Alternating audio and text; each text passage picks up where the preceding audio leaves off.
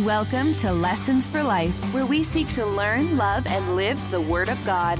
Now, here is James Long Jr.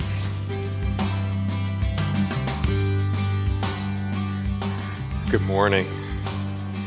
Uh, so, the last couple of weeks I've been starting with a verse from Proverbs chapter 4. And the verse goes this way Keep your heart with all vigilance, for from it flows the springs of life. A little bit later on in the passage, it goes this way. It says in verse 24 Put away from you crooked speech, and put devious talk far from you. Let your eyes look directly forward, and gaze be straight before you. Ponder the path of your feet, then all your ways will be sure. Do not swerve to the right or to the left. Turn your foot away from evil. So this morning, I get an opportunity to uh, talk to you about the topic of um, peacemaking. Uh, the first week, we got an opportunity to talk about the idea of getting to the heart and understanding that it's out of our hearts lives um, our lives speak. Uh, last week, we talked about communication and healthy communication in the family and in relationships. And today, I'm going to be asking you to work along with me in making some commitments to peacemaking and reconciliation. Um, I don't know if you know, but uh, there are three pastors, and then we have a total of six elders here. Um, and the pastors are bivocational, so we have jobs outside of here as well as here. And one of my jobs outside of here is a counseling. I'm a biblical counselor. I've got a counseling practice uh, in the next town. And I can tell you, I love my job. I love to preach. I love to teach Sunday school. I love the opportunity to disciple and counsel people. I love my job. I really do. Um, but I don't have a job, and we don't have a job if it's not because of the uh, problems that humanity has. Um, humanity struggles deeply with problems in relationships, individually, relationally, um, in so many ways. I love the opportunity of having a gospel centered ministry. You know, it's about Christ and his cross. It's Christ centered. It's cross centered. It's spirit enabled. It is God glorifying. It is such an enjoyment. My job and our jobs as pastors and elders is to make disciples. That's what our job is. And, and a disciple is one, as we've been trying to talk about over these last couple of weeks, it's somebody that has the character, but also the conduct of the Lord Jesus Christ, an attitude and the actions of the Lord Jesus Christ, the beliefs and the behaviors. It's not just simply the external things that you do, it's about what's happening deep in your heart. There's a process to making disciples as well. Discipleship is a process, it takes time. The whole element of discipleship is about growth and change, that you're going to be different as you move forward in life. It's a, it's a lifelong journey. We don't finish that until we see Christ face to face, whether Him coming back to get us um, through death or He coming back and rescuing all of us that have trusted in Him. So, discipleship is becoming like Christ. Discipleship, I will tell you this morning, is about obedience there are some of us that very honestly know what the word says about how to relate with one another, but we choose not to do it. This morning, I'm going to be asking you to make a commitment to obey God's word when, call, when He calls you to be a seeker of peace and a seeker of reconciliation in life. One author put it this way that discipleship is like a boot camp to train people for the front lines. That here you come into this congregation of believers and hopefully you're built up, and then you go out into the world to share the good news of the gospel in and through your life. So, why do we need discipleship? Why do we need counseling? We need discipleship and counseling because we are broken people. We live in a fallen world. Uh, weeks ago, Pastor Doug was talking about how life was in the garden. You remember in the garden before sin and how Adam and Eve were in this communion with one another. There was a harmony between humanity and God. There was a harmony between humanity and nature. There was a harmony between humanity and humanity, but then all changed at the fall. And the fall changed things. If you remember three weeks ago, I asked you to remember three questions that were essential. Why do I do the things that I do? That's essential. Most people believe that the things that they do are because of other people from their past or people in their present. Their environment is causing them to react the way they are. What I have asked you to consider is what Jesus' viewpoint was radically different. Jesus' radical viewpoint was this. In Luke 6, he said, It is out of the treasure of your heart you speak and you live. It's what's happening within you that is causing the things that happen and pour out of your life. That was the first question. Why do I do what I do? But then the second question was this How does lasting change take place? Lasting change takes place in the fact that I, I, change from the inside out. It's not about changing my environment. It's not about changing the people around me. It's not about avoiding people. It is about changing internally by the work of the Spirit, living according to His Word for the glory and honor of His Son. That if God can reconcile us to Himself in the Lord Jesus Christ, we can be reconciled with one another. And then the third question why do, uh, why do I do the things that I do? How does lasting change take place? And then the third one was this how can I be an instrument in the hands of God to minister grace to others? How can you be used by God to minister grace to your spouse or to your children or to your friends or your neighbors or people here in the congregation? So discipleship is needed. I've asked you to consider what your greatest problem is. You've heard that from Pastor Doug in the first four weeks. Our greatest problem is not outside of us, our greatest problem is within us. It's sin. I want you to think about this that sin disturbs every relationship that ever exists. Three realms. Sin distorts humanity and God that every person born in this world is born separated from God because of sin that is in their lives. They haven't even done anything yet, but they've been born separated from God, and then we act out in sin because of the nature that is there within us. So every person in humanity has been separated from God, and sin disturbs that. Sin not only disturbs the relationship between humanity and God, sin separates humanity and nature. I talked about the, the bear that kind of walks around in my backyard, probably a bunch of them. I don't go up and pet a bear because I don't feel comfortable petting a bear. Lions and lambs don't lay down together this time right now because humanity and nature are at odds today because of humanity's sin. Sin has disturbed humanity and humanity, humanity and God, humanity and nature, but sin also disturbs humanity and humanity. That, that you remember when Adam and Eve were together, they were just one. And then all of a sudden, after they ate that fruit, there was a separation. They covered themselves up. They hid from God. They blamed one another. This attack was a byproduct of sin. Sin attacks everyone at birth, every single one of us. It degrades, it debases, it destroys. Every broken marriage, every disrupted home Every shattered friendship is a byproduct of sin today. The one thing I need you to recognize is this we can't ignore it, we can't gloss over it. We can't just label it something else. We have to deal with sin in the only way that God has given us through the person and the work of the Jesus Christ. Sin is deep. It's not just the things that I do outside, it goes down to the very heart of who I am. Sin is so stinking deceptive. I think I've got it right, but my life, I, it's like I think I see it clearly, but it deceives me. And then sin is destructive. It will destroy your relationships, it will destroy even you. We need to go on the attack against sin. How do I do that? See, our, our problem is, is more than just moral corruption, which we have, and guilt and condemnation and alienation. What God wants to give you in Christ is a new nature. What God wants to give you in Christ is forgiveness. What God wants to give you in Christ is reconciliation. What God wants to give you in Christ is a standing before Him that you are accepted before Him. He did that in the person and work of Jesus Christ. He has justified us by His amazing grace. Doug was just talking about that. Justified by his grace alone, through faith alone, in Christ alone. The only way that we're ever going to be able to make a commitment to peacemaking reconciliation is to recognize that we've got a problem. And the problem is me. And the problem is you. So I want you to consider this morning that our tendency is to protect ourselves when it comes to relational difficulties. I know you do it. I got one finger out, three fingers point back. You protect yourself, so do I. Our natural inclination. We tend to promote ourselves, right? We tend to believe that I am good and that other person is wrong. We, we focus outward. We protect ourselves, we promote ourselves, and what we do is we punish other people.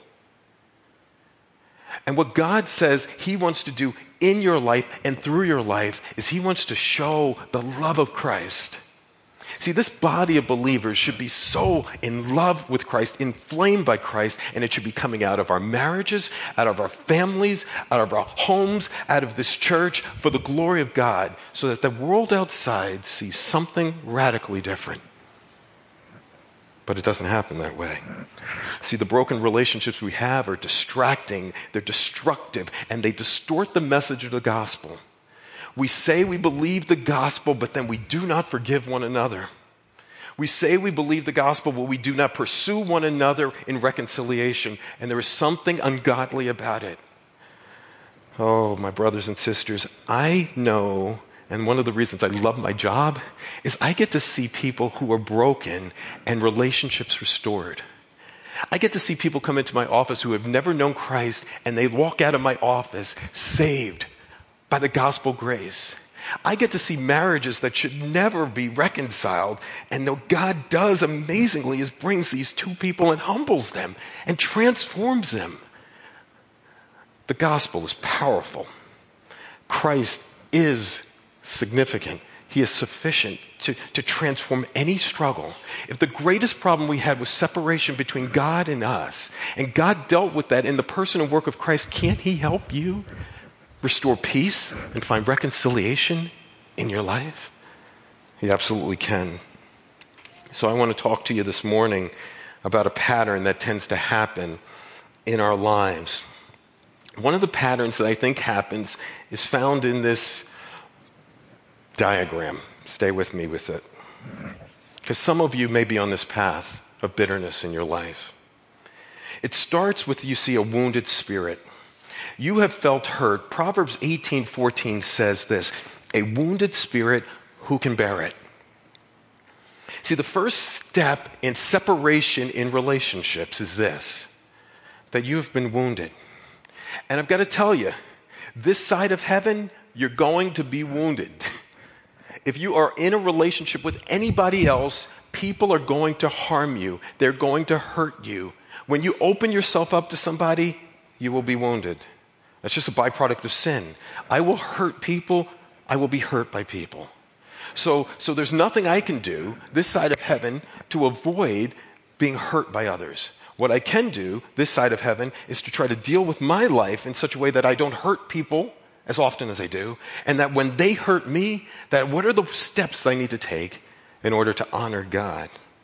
So some of you are in a wounded spirit. You've been hurt.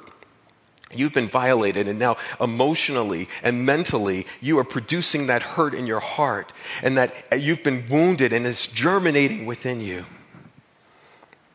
One author in his really good book, The Heart of Anger, Lou Priolo, talked about the second step, bitterness. He said this if we do not respond biblically to the hurt, this would mean forgiving the sin or overlooking the sin or realizing the offense was not wrong, you will begin to rehearse the events in your mind over and over. I talk about taking a mint with my clients, and if you were to take a mint and put it into your mouth, you roll that around in your mouth, and eventually it will dissolve. That's what exactly what we do with our thoughts the hurt that somebody has done to you, you roll that around over and over again, and it leads to bitterness. In Hebrews chapter 12, it says, A root of bitterness will defile many. The dilemma is this that if I continue to roll your sin around in my mind, I am forsaking 1 Corinthians 13 that says, Love doesn't keep a record of wrongs. Some of you have been at a place where you have been wounded, and now you've gone to bitterness, and then you go to the next step anger. And anger here is not just a simple expose, explosion of emotion, which can happen, but this anger is more of a characteristic quality of your life. You start to develop an angry personality. The Bible even tells us don't even associate with that type of person.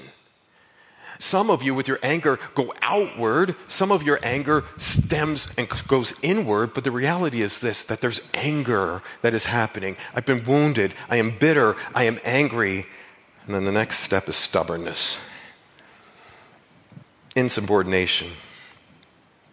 In 1 Samuel 15 23, it says this Rebellion is like the sin of witchcraft, and stubbornness as iniquity and idolatry, which is interesting. Iniquity in the fact that it is sinful, idolatry is in the fact that I believe that there's something that I need that's going to satisfy me more than God.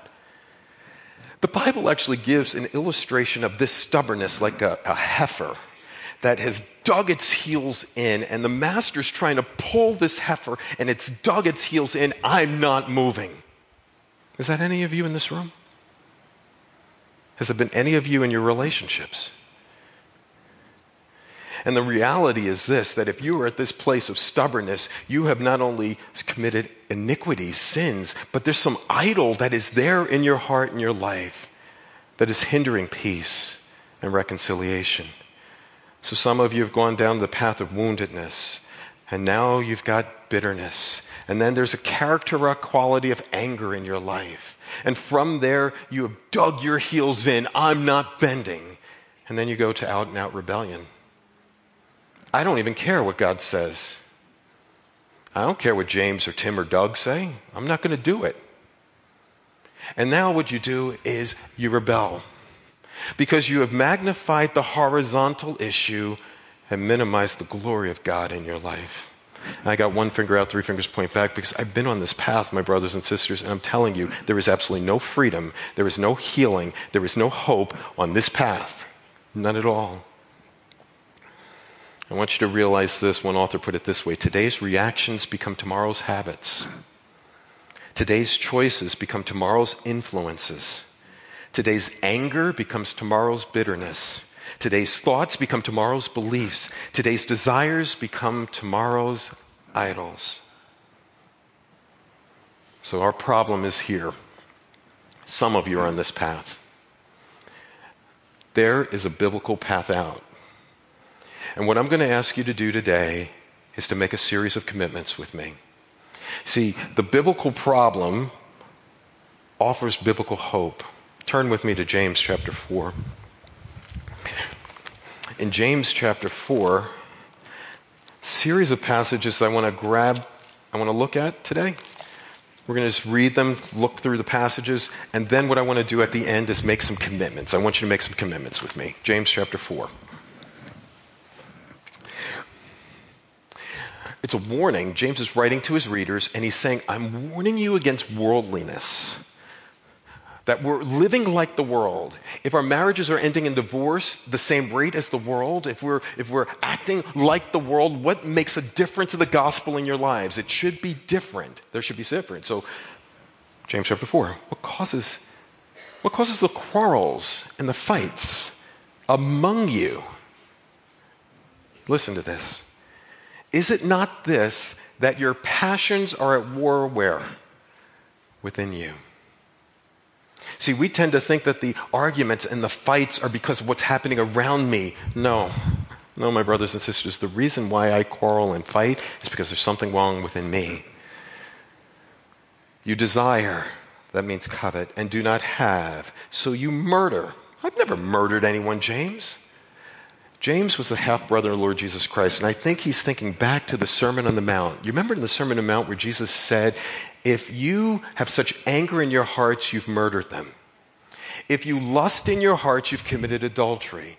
What ends up happening is that the things that are happening deep within are going to come out, even if you don't show it externally, the heart issue is there. So you've murdered. You covet and cannot obtain, so you fight and quarrel. You do not have because you do not ask. You don't go to God and pray. And when you do ask, you ask wrongly to spend it on your passions. So sometimes we do pray and it's like, God, change him or change her. And it's wrong attitude. You adulterous people, don't you know that friendship with the world is enmity to God? Therefore, whoever wishes to be a friend of this world makes himself an enemy of God. Or do you suppose it is to no purpose that Scripture says he yearns jealously over the Spirit that he has made to dwell in us, that God wants to rule in your life? He wants to be the king of your life, your satisfying force in your life. But God gives more grace. Because, James, I can't possibly forgive my spouse. I can't possibly forgive my parent. I can't possibly forgive this person. God gives more grace. For God is opposed to the proud, but gives grace to the humble. Submit yourselves to God, and He will flee from. I'm sorry, submit yourselves to God, and he uh, submit yourselves to God, resist the devil, and he will flee from you. Draw near to God, and he will draw near to you. Cleanse your hands, that's external change, you sinners. Purify your hearts, that's internal change, you double minded. Be wretched and mourn and weep. Let your laughter be turned to mourning and joy to gloom. Humble yourselves before the Lord, and he will lift you up. Can you imagine what would happen if I start to look and say about my own sin? Forget about Amy or Abby or Hannah or Isaiah, my family, my sin. How do I sin as a husband, as a father, as a friend? And you look at those things in my life and I work to honor God and live by His grace for His glory. This passage seems to give the impression that there are going to be conflicts with others, that you're even at conflict with yourself and that you're going to be a conflict with God. See, you may think that the problem is him or her, but the reality is there's something happening within you that needs to change. Jump back with me to 2 Corinthians chapter 5. 2 Corinthians chapter 5. Because if we are at conflict with one another, and we are at conflict within, and we are at conflict with God, how does that get dealt with? I love this passage. This is like a, a counseling passage, discipleship passage. Oh, this is a great passage. 2 Corinthians chapter 5, verses 14 through 21. For the love of Christ, not my bitterness, not my anger, not my rehearsing your sin, the love of Christ controls me because we have concluded this that one has died for all, therefore all have died. And he, Christ, has died for all that those who live no longer for themselves, but for him who for their sakes died and was raised to life. From now on, therefore, we regard no one according to the flesh. Even though we once regarded Christ according to the flesh, we regard him less no longer. Therefore, if anyone's in Christ, he is a new creation. The old has passed away, the new has come. And all this was from God, who through Christ reconciled us to himself and gave us the ministry of reconciliation.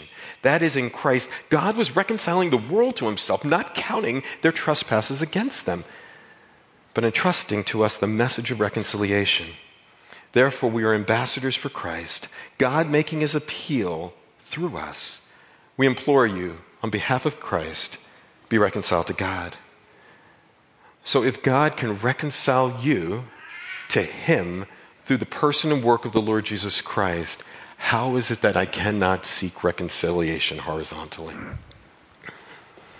One more passage I want you to consider in John chapter 13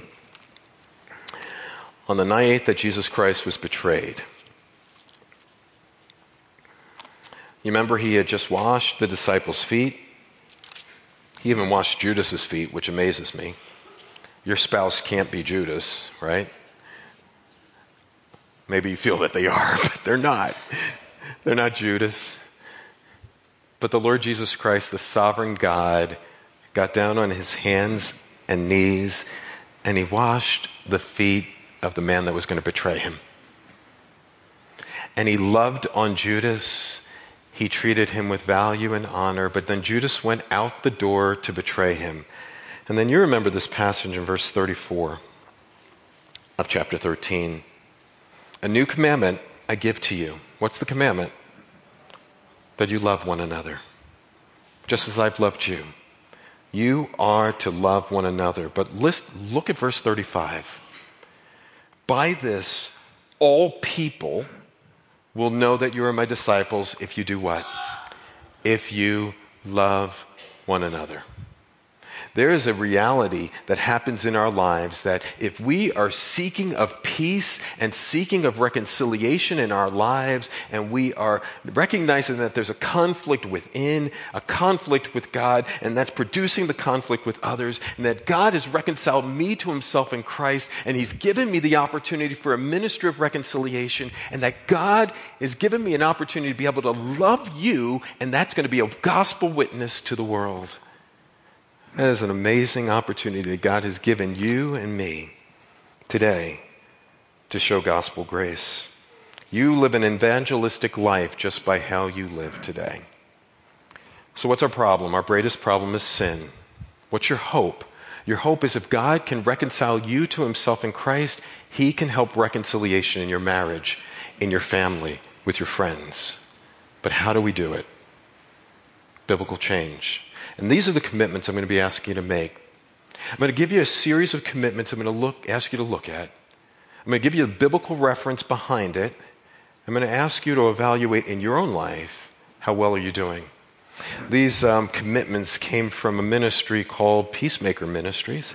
Um, and uh, they've made a ministry of trying to find peace and reconciliation in relationships. I use it in my counseling ministry. I would encourage you um, to evaluate your life. So, so God has created us to be peacemakers. And the reality is this it should be our desire to have a culture of peace here. That your home should be a culture of peace that magnifies Christ, magnifies His grace. See, as we stand in light of the cross, we realize that any bitterness, unforgiveness, broken relationships are not appropriate for the people of God. It's not. See, if God can reconcile us to himself through his Son, the Lord Jesus Christ, we should be seeking reconciliation with others. So I'm going to ask you to make these commitments. Commitment number one. The first one you will see is this. Whenever we are faced with a conflict, our primary goal will be to glorify God in our thoughts, words, and actions. In 1 Corinthians chapter 10, it said this 1 Corinthians 10, it says, whatever you eat or drink or whatever you do, that includes your thoughts, words, and actions, do it to the glory of God. When you go into a conflict with somebody, is your primary aim the glory of God in the way you think? Is it your aim in the way you speak? Is it your aim in how you live that God would be pleased with how I'm handling you today? Commitment number one, I ask you, how well are you doing at this? Commitment number two. We will try to get the logs out of our own eye before we focus on what others may have done wrong. Oh, boy, this is hard. You remember this. This is Matthew chapter 7. And Jesus says, Do not judge. That's the verse that all the world knows, right? But they don't get the context. Do not judge, lest you be judged. In the way you judge, you will be judged. And the measure you use will be measured against you. Why do you look at the speck of sawdust that's in your brother's eye and pay no attention to the two by four sticking out of your own? First, deal with the two by four in your own eye. All right, James Long paraphrase. And then you will be able to deal with the speck that's in your own eye. Well, James, you don't know my husband. I don't have a log. He's got the log, I got the speck. Gotcha. I got you. But when I get a speck in my eye, I can't see anyway, anywhere, right? So deal with the speck or the log or whatever you would want to call it. Uh, deal with what obscures your vision. And then go and help your brother in a way of grace. Commitment number three. We will seek to overlook minor offenses. How well do you do at this? We have a tendency to magnify these offenses, and the smallest offense we get into arguments over. Um, Jay Adams has this diagram and it's got this arrow going to a problem, the big problem, and then there's a little problem over here, and we keep attacking the smaller problems instead of dealing with the central problem. I struggle with the fact that you don't respect me. I struggle with the fact that you're not showing love to me. Deal with the central problem instead of those little surface garbage things. Overlook those things to deal with the major issues. Get to the root of the issue in life. Proverbs 19:11 says, "Good sense makes one slow to anger, and it is his glory to overlook an offense." Commitment number 4. We will seek to refrain from all gossip, backbiting, backbiting, and slander. And if we have a problem with a person, we intend to talk to them and not about them. Oh, we got a problem with this one too, because we tend to talk about other people, right? It's sometimes fun, right? It really isn't. Ephesians chapter 4 says this, verse 29 Let no corrupt talk come out of your mouth, but only that which is good for building up as it fits the occasion, and may give grace to those who hear. And do not grieve the Holy Spirit of God whom you were sealed in the day of redemption. Let all bitterness and wrath and anger and slant, clandor and slander be put away from you, along with all malice. Be kind to one another, tenderhearted, forgiving one another, as God in Christ has forgiven you. Commitment number five. We will endeavor to make charitable judgments towards one another believing the best until we have facts to prove otherwise. In 1 Corinthians chapter 13 verse 7 it says this, love bears all things, believes all things, hopes all things, endures all things. Some of us already judge a person, and we've been talking about over these last couple of weeks. I can't even know my own heart, let alone yours. But for some reason, I judge myself pure and judge you sinful. I need to judge myself sinful and offer grace to you. Offer the charitable judgments. How well do you do with this one? Commitment number six. If an offense is too serious to overlook, and some of them are, don't misunderstand me, some of them are, or if we think that someone has something against us, we will seek reconciliation without what? Without delay. In Matthew chapter 5, it talks about you're in a worship service. And in that worship service, you have your offering, and you're going to bring your offering. And, and God says, He brings, taps on your heart about the fact that there is someone that has something against you. And what are you supposed to do biblically? Leave that service, forget about giving your altar offer, go, be reconciled, and then come back and do your offering. Why? Because God is so passionate about reconciliation of relationships that He is saying that even part of the worship service, the greatest form of worship that you can do is to show that you love and forgive one another. All right, so that's if I am the offender. What happens if they are the offender? I'm not off the hook. Matthew 18 says this If your brother sins against you, go and show him his fault, just between the two of you.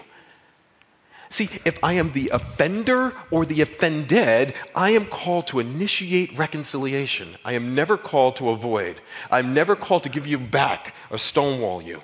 Ever. I'm called to pursue peace. Commitment number seven.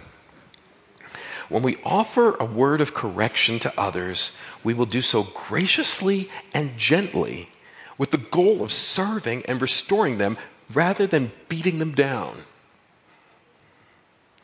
Some of us are wired to be law type people, and we really know the Bible and we're law, justice. And some of us are kind of wired to be grace and kindness.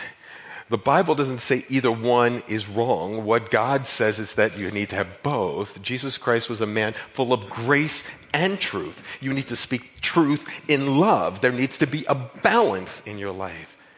So there are times that I need to confront my brothers or sisters about areas in their lives. You need to confront your spouse about areas, or your son or your daughter about areas in their lives. Absolutely, but it needs to be done, not to beat them down. Proverbs 12, 18 says, There is one whose rash words are like sword thrust, but the, th- the tongue of the wise brings healing. In Galatians chapter 6, it says this Brothers, if anyone is caught in a transgression, you who are spiritual should restore him in a spirit of gentleness. Commitment number eight. When someone tries to correct us, we will ask God's help to resist prideful defensiveness and welcome the correction with humility. Welcome that correction with humility. In Psalm 141, I love this verse. It says this, verse 5 Let a righteous man strike me it is kindness. Hear that? When a righteous man strikes me, it is kindness. Let him rebuke me, it is oil for my head. Let my head not refuse that oil. Yet my prayer is continually against the evil deeds. So, so he's saying that, you know what? Some of my brothers are going to wound me at times because I'm wrong and they wound me, but that's good. I don't want to be beaten up by somebody that doesn't love me. I want to be encouraged by the one who does. In Proverbs chapter 15, verse 32, it says, Whoever ignores instruction despises himself, but he who listens to reproof gains intelligence. Some of us shut our ears to others' people that are being used by God in our lives to tell us that we're off course, and it's wrong. Commitment number nine.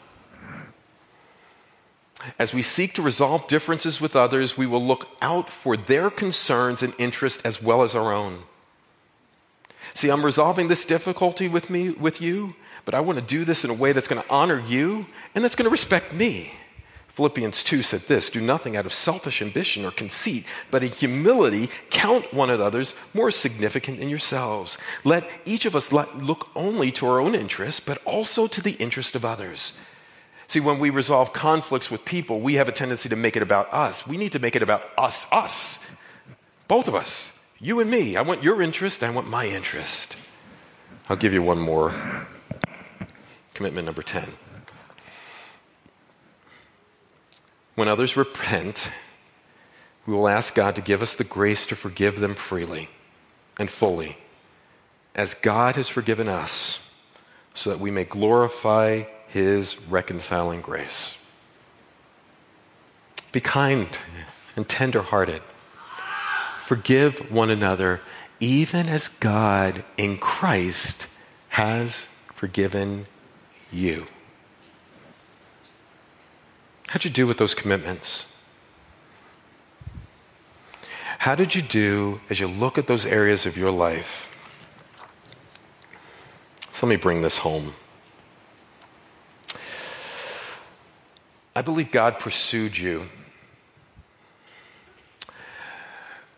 The Bible tells us that we didn't seek him, he sought us. He didn't choose, we didn't choose him, he chose us. He pursued us. The greatest offended one, there is no one more offended than God, and God left heaven to come and rescue you. He pursues you. I'm asking you to pursue one another. Jesus Christ purchased you by his blood. It's funny that in Ephesians, Paul said, Husbands, love your wife as what? Christ loved the church and gave himself. We need to give ourselves. Greater love hath no one than this, that he laid down his life for his friends. God pursued you. God purchased you. God pardoned you. There is not a sin, if you are in Christ, that God has not forgiven. You are forgiven and free. And how is it? if you read in, in, Matthew 18, how is it that I've been forgiven the greatest debt, but my brother or sister has this small debt against me and I want to punish them? I've missed out on the greatest issue. That if God pursued me and God purchased me and God pardoned me and God is pleased with you, not because of what you do, because some of the things we do are pretty sinful. And we looked at those 10 things. I know a number of you said, I don't do that, I don't do that, I don't do that. But God still is pleased with you because of Christ. He has placed his righteousness on your account. And then what he's done is he's empowered you by Christ, by his Holy Spirit, to live out. Oh. God pursued you. God purchased you. God pardoned you. God is pleased with you. And God wants to powerfully work in and through your life to display His glory through the world. Let Him do that in your marriage. Let Him do that in your family. Let Him do that, kids to parents. Let Him do that to persons in this congregation that are separated from one another. Let Him do that so that God will be displayed in this world for the glory and honor of His name. So, how do I bring it home? I don't know. I'm gonna, we've been having the elders come forward at the end of a service. Maybe Some of you know right now that you have some struggle right now that you need to just be praying for. And you want your elders to pray over you. We want to be down here, down front, to talk to you and communicate with you. Some of you, that we're going to be doing a um, resolving everyday conflicts um, workshop in the next couple of weeks or months. There's a sign up sheet outside on the connection table. If you're interested in that, go out there and sign up and just tell me that you're interested in being part of that group. It's only eight weeks, it's a powerful series. Some of you know right now that there's somebody in your heart that you need to make it right with. You know, I did this seminar year, uh, a couple years ago, and one of the coolest things in the seminar was a Friday and Saturday on uh, resolving conflict. And at the lunch break on Saturday, this woman was so convicted about what was going on in her heart, she left that seminar and she went and drove to her friend's house, which she had not talked to in years, and they reconciled. And she came back and gave a testimony about how God had convicted her and how God had transformed her and how God had reconciled that relationship. Oh man, the glory goes to God. So maybe some of you today know you need to go and make it right with your spouse or your child or your friend. Or perhaps today you're one, and we talk about gospel grace. Maybe you're sitting here today and you've never trusted in Christ as your Lord and Savior. Some of this seems foreign. And you sit there and say, I don't do any of those things up there. God can't possibly forgive me. And the beauty of the gospel is this that God can take the worst of sinners and bring us to faith in his Son. Today, will you make a commitment to me, with me, to be peacemakers, reconcilers, for the glory of God and the good of his name? Lord, we praise you and thank you. I do love my job, God. I love this. It's not even a job, it's an adventure. What's the adventure, Lord? Because I really don't ever know where you're going to take these people. I am merely used as an instrument in people's hands, and I could look out into this congregation. I know there's so many people that have been used as instrument in other people's hands as well, in your hands, in other people's lives, I should say. I thank you for the fact that not a pastor, not a counselor, not an elder changes another person. It is your Holy Spirit that transforms human hearts. So, Lord, today I pray, I pray that through my words, I pray my words have been clear. I pray my words have been honoring to you. And if the words of my mouth and the meditations of my heart, I pray that they've been pleasing. And Lord, if there was anything that was shared today that has convicted a person here, I pray that they wouldn't run from that conviction. It's the worst thing they can do. The longer they put off this reconciliation, they're probably just going to let it go by. I pray that they would pursue peace today. Thank you for the fact that you pursued us, Lord. Thank you for the fact that you purchased us, Lord Jesus Christ, with your precious blood. Thank you for the fact that you are pleased with us, God the Father, because of the work of the Son. And thank you, for, thank you for the fact that you are looking to work powerfully in and through our lives. Help us to know that we love you and help the world to know that we are Christians by our love. And all God's people said, Amen. This has been Lessons for Life with James Long Jr. We hope you've been blessed. For more information, go to jameslongjr.org.